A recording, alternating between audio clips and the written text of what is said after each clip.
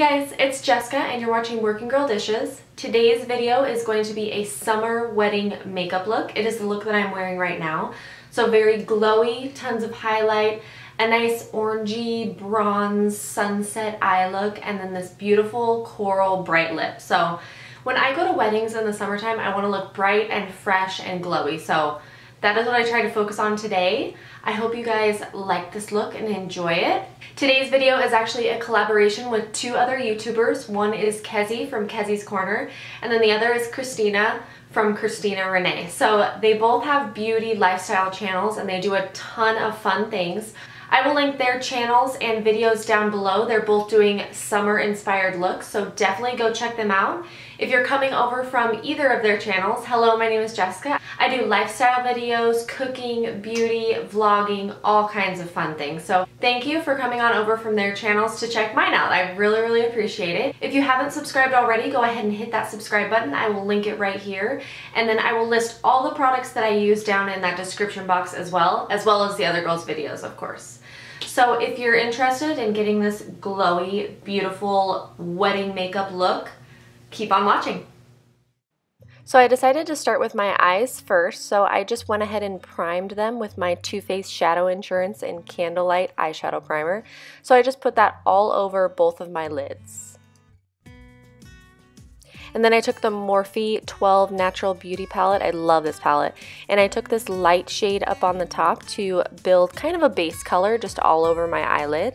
And then I went in with a little bit of a darker, like kind of rose gold color and put that all over my eyelid to just build up some color.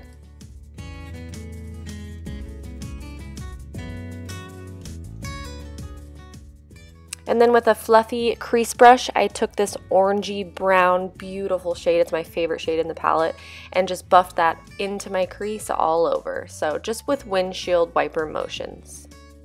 And then I just took a clean fluffy brush and blended that in. And then I took a little bit of this darker bronzy shade and took my same crease brush and just put it right in the outer third of the eye, just right in the crease there on the outer edge, just to kind of build some depth and make it look pretty. And then I took that fluffy brush again and blend and blend.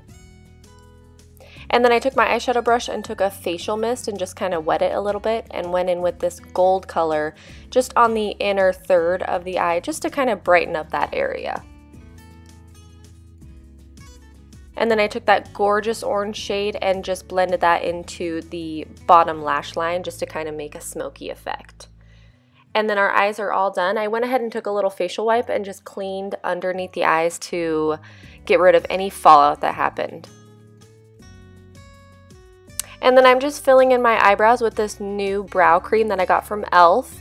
I just take a little angled brush and fill in my brows. I really like this cream. It's a little bit yellow for my eyebrows, but it blends really well and it's very easy to work with.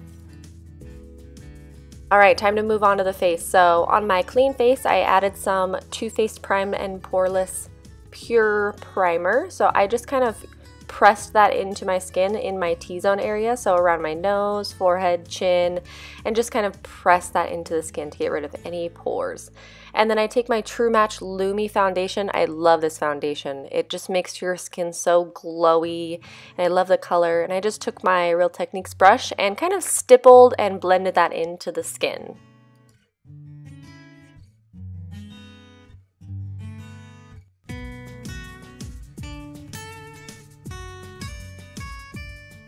And when you're blending your foundation in, just make sure you go down the neck and around the ears to make it seamless and pretty.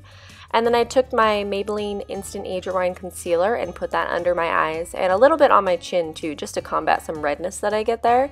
And I blended that in with my same foundation brush.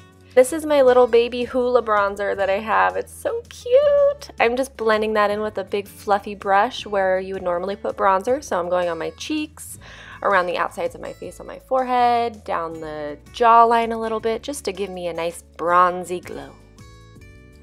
After I'm all bronzed up, I took my little cargo blush. I got this in my Birchbox last month, so I just took a little bit of that pink shade onto the apples of my cheeks, and I think it's a great combo with the bronzer. It just makes you look super glowy.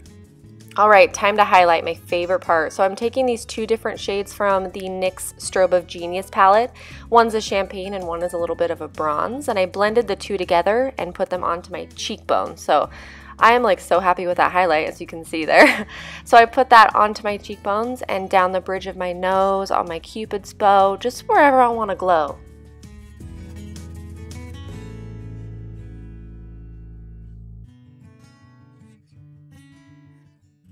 All right, and then I took my L'Oreal Voluminous Butterfly Sculpt Mascara. I'm still obsessed with this mascara. It just gives you voluminous, separated, beautiful lashes. I went ahead and applied that to the tops and bottom lashes. And this mascara is great for summertime. It does not fade or get underneath your eyes. It's perfect. And then I just went ahead and brushed through my eyebrows to give them a little bit more structure. And then I took a nice fluffy brush and buffed my bronzer, blush, and highlight together. And then I applied my Too Faced lipstick in the color Coral Fire. I love this lipstick. It feels like a lip balm on the lips and the color is just gorgeous. And here is the finished look.